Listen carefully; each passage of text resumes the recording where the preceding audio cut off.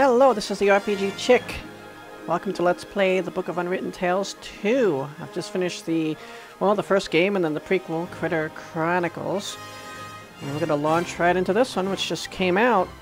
Well, as I'm playing this, came out like three days ago, but you guys will see it like, I guess, six days after it came out. There's my settings. I'm going to see how this works on Ultra settings. Of course, active mouse and keyboard. It's a lot louder in this game, I found. So I had to lower everything down to 20 just so you can hear me talk over them safely. And, uh, of course, subtitles are applied. They were by default. Um, of course, you can listen in German as well. So. We'll continue the game. Nate, or Nathaniel Bonnet, is just as egotistic as ever. Open menu. So, this is different. We got a little inventory thing here. We're basically swimming through the air, right? good, good. This is good. Although the ground is still getting closer. I am playing this blind. So past this point, I have not done a thing. Oh, interesting. Right.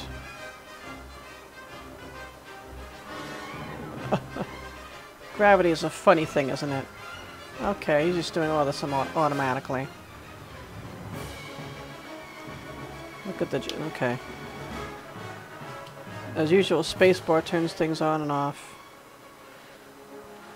What's happening there? It's keeping a log of something. Part of the jetty. At least some of it survived the explosion. Explosion? Well, be being thrust right into the action here. No idea what's going on. We're, what point in the story we are. I'm gonna climb up the rope. If I'm lucky, this will go all the way up to the island. but somehow I really doubt it will.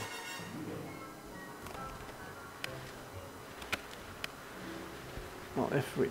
Yeah, then the island would also be falling.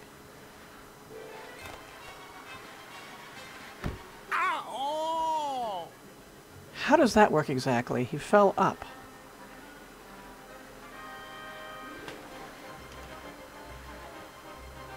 We can actually grab this?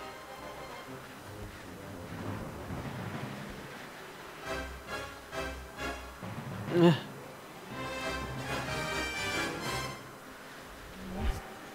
You're kidding. Oh, hi, Nate. How's it going? Good. For now.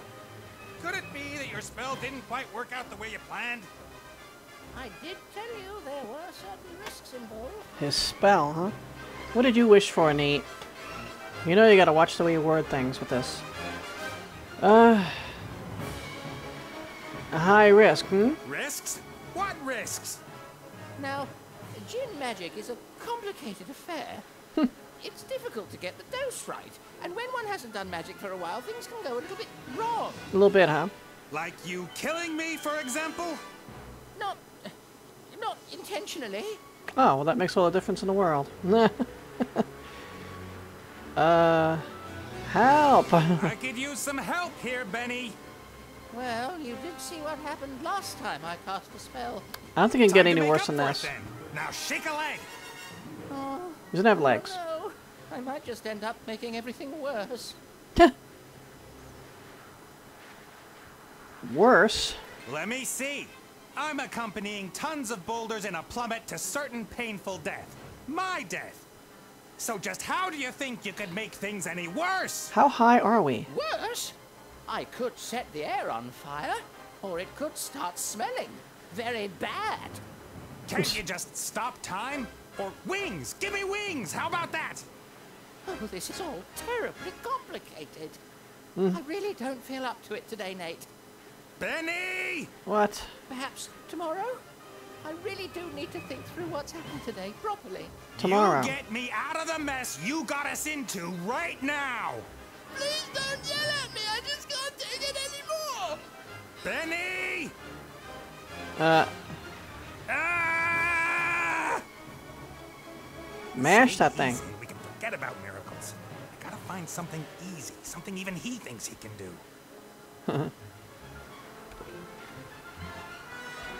How is it we're floating up while falling?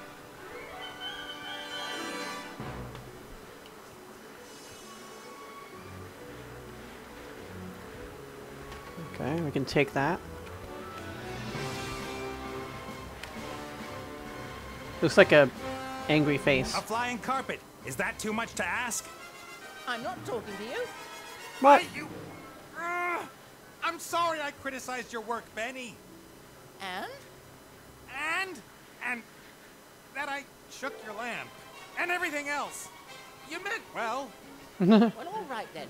I forgive you. What can I do for you? Carpet! Mmm, A flying carpet. Hmm. Shouldn't be too hard. Should I really dare? Am I really up to it? Seriously? Whoops. Yes! Yes? This is a good thing? Oh. Way to go. So I'm waiting for like the real intro here. Cool. What happened here? Whatever it is, it's very colorful.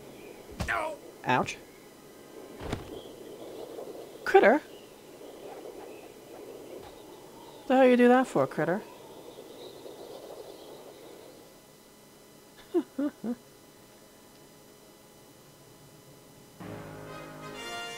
Nordic Games presents a game of infinite, infinite awesomeness. Uh, sorta.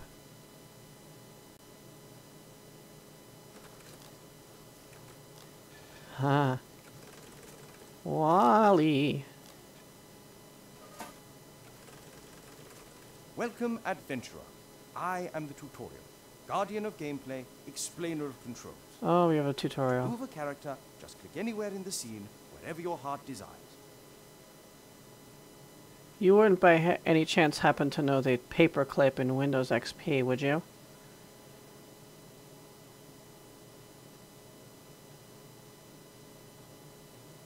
Okay. How about you go here?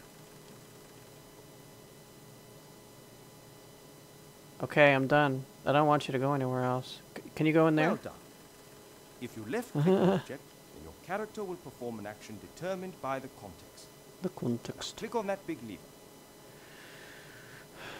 This one? No. This one. The robot has used the lever, as this seemed logical to him. Now click the lever with your right mouse button so that the robot looks at it rather than using it. Sorry, the mic. Excellent. The robot thinks the lever is working. I don't know what it does, if but that's so, where is the problem? That hatch over there, left click it.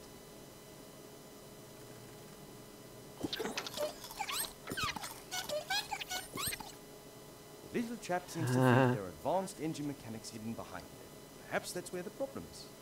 Click on the hatch again using the left mouse button.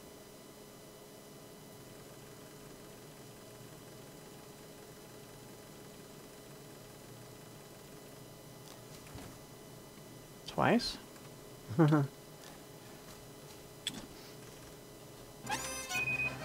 Duluth. First left click will allow you to look, second to use.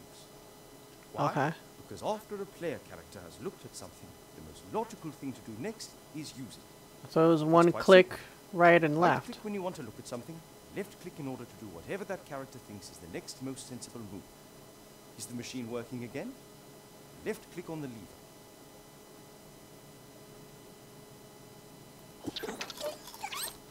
I want to do that instead.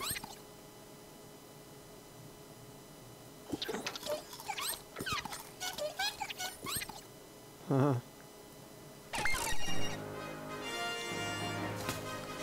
Okay, the credits are continuing. I guess that was the credits, uh, lever. Lever.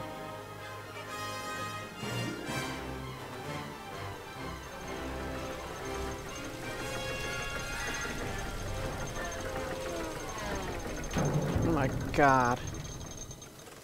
Appears to be a new problem. Better take a closer look at the engine. We have to work just to get the intro going. This is pretty, pretty interesting.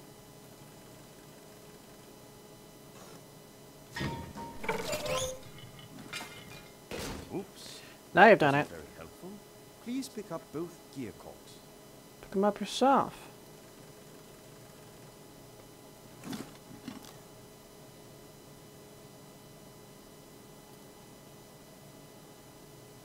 Oh, there's a dented oil can.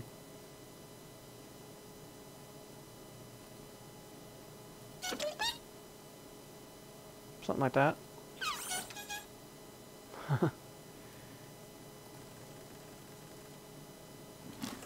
that wasn't very helpful.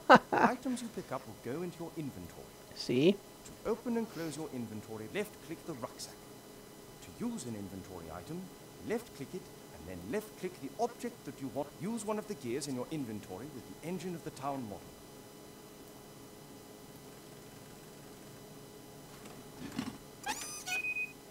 Excellent. How about dealing with the second gear? How about it?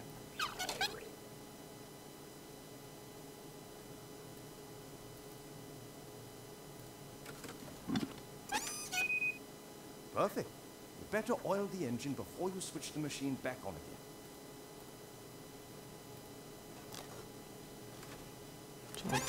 Well, WD-40 and we're good to go. Time to crank it up. Oh, gonna crank this, okay.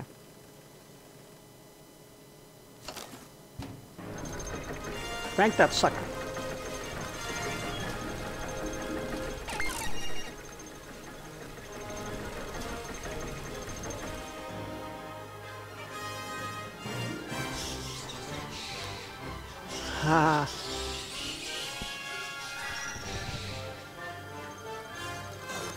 It's like a carnival ride.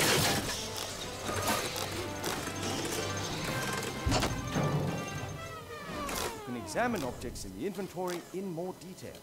Pick up the damaged figure and the toolbox. Then when you are in the inventory, right-click the toolbox in order to examine it.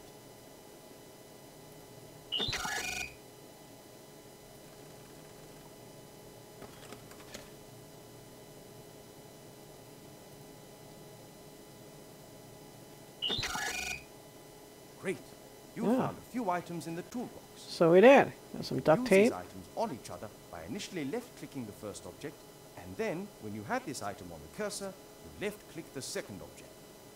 Try to repair the figure in the inventory.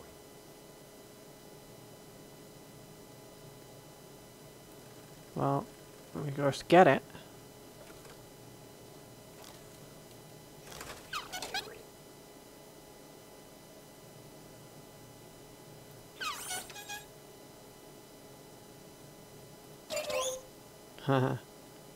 Worn down screwdriver. Wobbly hammer. Piece of tape.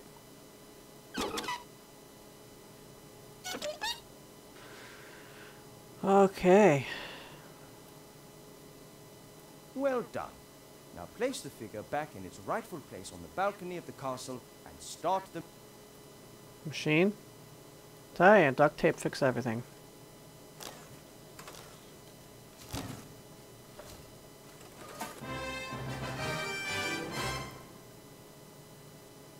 Continue. Oh. Excellent. Now ready. One last tip. If you press the spacebar, all interesting objects in the scene will be displayed. Yes, yes, I know. Good luck with your adventures in the Book of Unwritten Tales Thank you.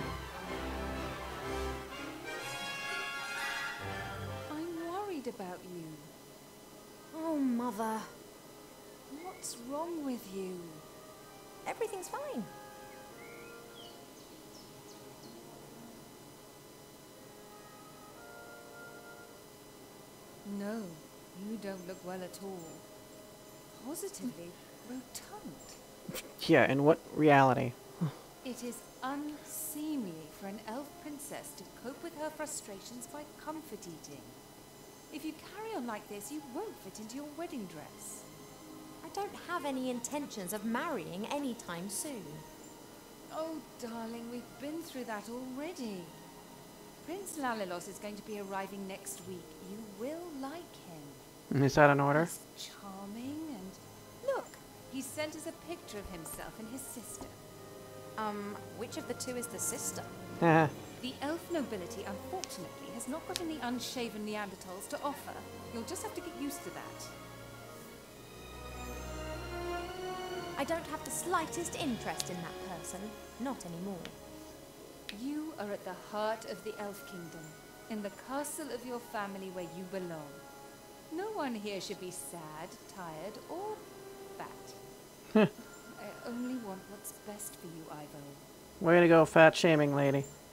Um, didn't Ivo have like blondish hair?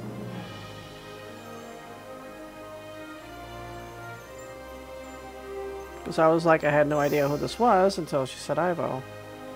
I don't remember. But her hair was a lot lighter than this. Anyway. Hey, it's Cheap Cheap. She's locked me in. I guess Did you she see has. that? She's locked me in. Mm-hmm. Yes, only what's best for me. She always says that. Have you actually seen that Prince La La La? Is that his Have name? you seen this prince? A vain river elf who's only interested in topping up his tan. Aren't elves very fair skinned? I'm to spend hundreds of years in the company of someone I don't love? Huh, not me. And how? She will try anything and everything. Nothing's more important to her than getting me married off.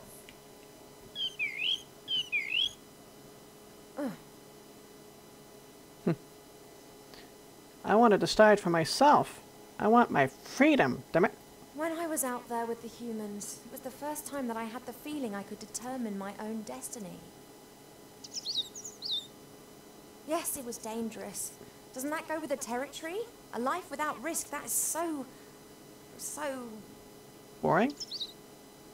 So oh, cheap? Oh, you don't understand. if I could, I would go right now. You want to stop me? Just like last time.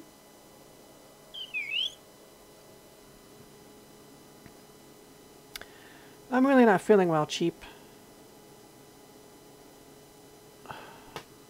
They spelled his name wrong. Isn't his name actually spelled like T S C H I E P dash and then the same thing again, something like that? I didn't want to tell Mother, but I've not been feeling too well lately, Cheap. I'd say the same thing, but we elves hardly ever get ill. Hey, Yeah, you've got a point there. I spent almost a year in the human world, and they have some very strange ideas about personal hygiene. Hmm. well, I, I thought perhaps it's a curse. Oh, no, you won't. I'll take care of it myself. Mother would make a state occasion out of it. I don't know either, but I'm sure there's a medical book down in the library.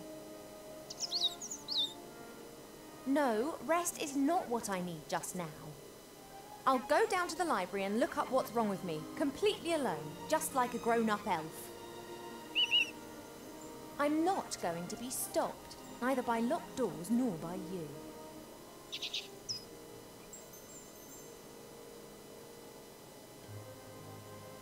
Huh.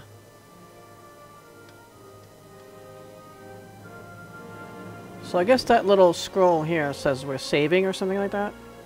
So this is a picture of Wilbur from the first game. And there's Critter. Is Nathaniel back behind Wilbur? The times when the others were here in the Elf Burrow, those were the best that I've ever had. Oh, they were there too? The critter could never keep still when I was drawing him. He was always pulling faces and trying to make me laugh. Ah.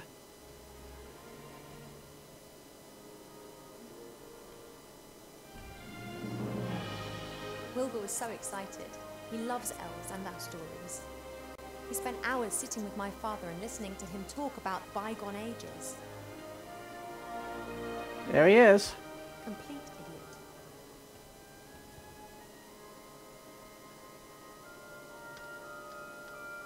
Yeah, I sense there's going to be some Luke and Leia thing going on with them, and um. I don't like it, and I don't like the way they spell Cheap Cheap's name differently. Cheap Cheap survived our past adventure, Yeah. even if he'll insist on exactly the opposite. Change his name. He told everyone for months how he defended me from all the evils of the world and then only just escaped with his tail feathers intact. Hmm. You have anything more to say to Cheap Cheap? Hey, Cheap.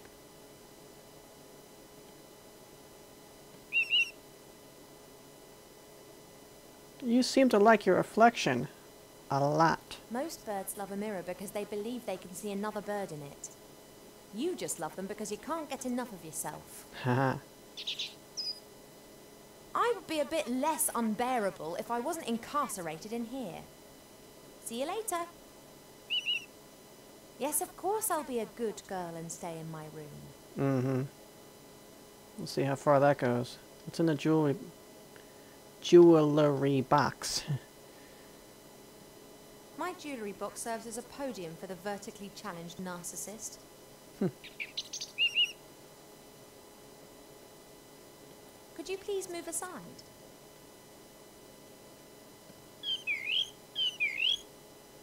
I want to get into my jewellery box. Hmm, listen to me anymore since I almost caused him to be roasted by fireballs, decapitated by swords, and eaten by monsters. That's all. Mother has permitted him to disregard any of my orders that go against her wishes.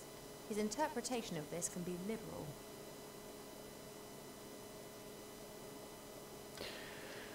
Well, that's annoying. We can't get in the box.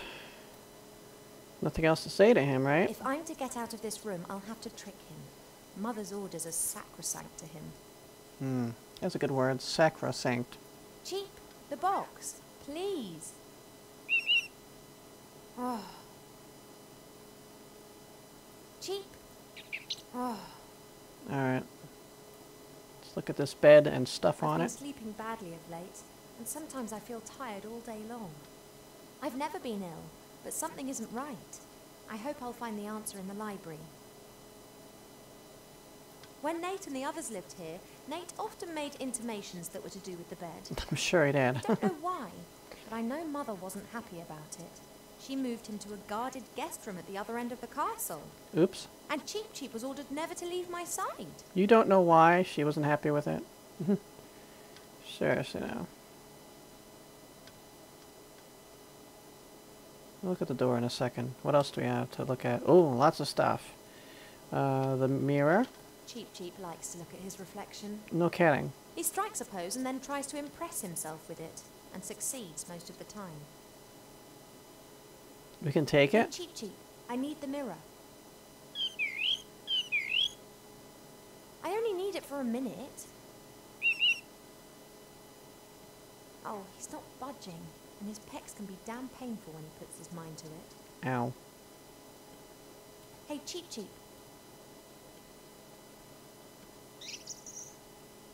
I only need it for a minute. Oh, he's not budging. Alright, that's that. Um, knitted hat. Oh, behind her. I had my birthday during the few weeks that we spent living together here in the Elf Burrow. That was a big deal for Wilbur.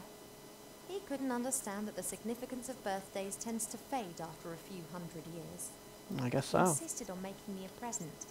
He sat in the corner for days knitting me this hat with his little gnarled fingers.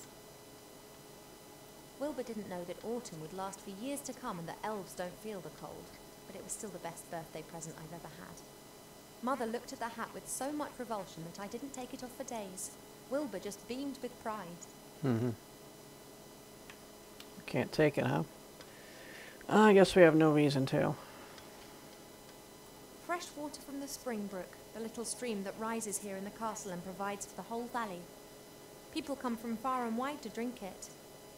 Well, all you have to do is cross the, the uh, room. No, I'm not thirsty. Okay then.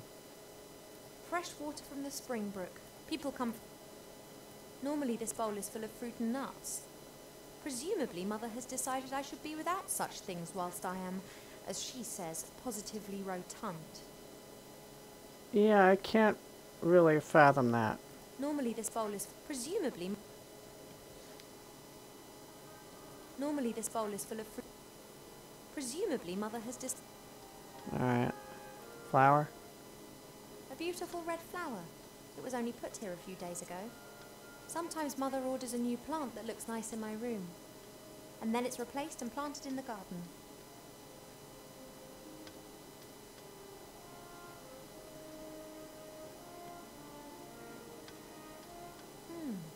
Delicate sweet scent. It reminds me of a wood over in the west where I learnt to use a bow and arrow.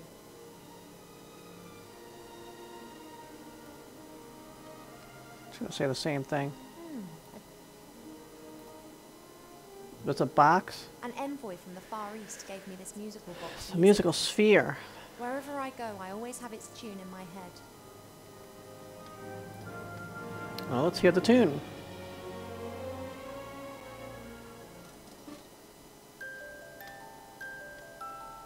Gotta say, I really like her look in the first game a lot more.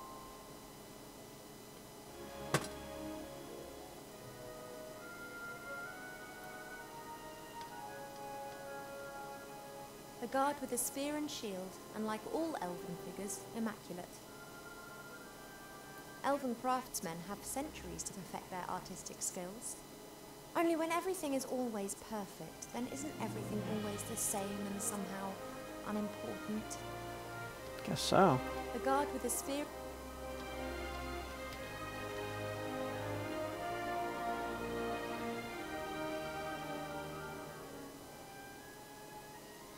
Alright.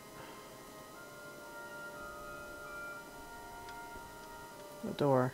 Mother's locked me in as if I was 200 again. 200. Since I secretly escaped from the elf burrow last year, she's taken to guarding me closer than ever before. Do we really lock it with these branches? The door's locked and can only be opened from the other side. I'll have to find another way down to the library. Hopefully I'll find a book on medicine in the library. Only how am I going to get down there? The door's locked and I'll have to find... Let's go out here.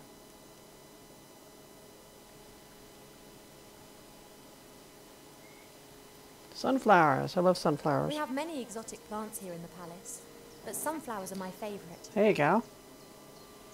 We can take some seeds. By the way, I want to check inventory. Apologies, I need a few of your seeds. I've still got some seeds and shouldn't take more than I need. Oh, we have got a picture of Prince Lalios? Lalilos. I thought it was... Well, I thought you were going to take that off. I thought it was uh, Prince La La La La. Hmm. Since Nate left without saying so much as a word, Mother seized the opportunity to marry me off to a proper elf prince. So far, I've managed to frighten off every candidate successfully, but she's starting to lose her patience. Since Nate left without so far, a friendly gift from nature, taken without permission. A friendly gift. I always try to combine random things. Uh... Oh, we can climb down to the garden. Let's look at the Now telescope. and I think I miss it. I've seen much suffering, much evil and unkindness in the world out there, but it was exciting. It was alive. Here in the Elf Burrow, everything is so ordered, so perfect, so dull. One day's just like the next, and they just pass by endlessly.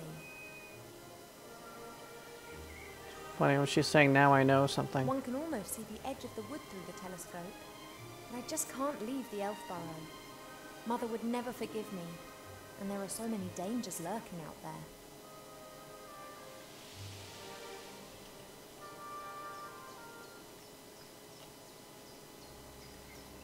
Oh wait, I, di- I wanted to move over a little. Crap. So I can't. Okay, I wanted to see if there was more to this scene, but no.